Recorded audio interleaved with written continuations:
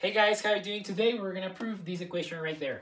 First of all, we're gonna define a new variable, y, and we're gonna say y is equal to a log base a of x, okay? Now I'm gonna take log a on both sides. Log base a of y is equal to log base a of a to the log base a of x, okay? Too much log a, but just bear with me. Now, we know that since we have a to the an exponent, we can move this power to the front. Okay, that is a property of logarithms.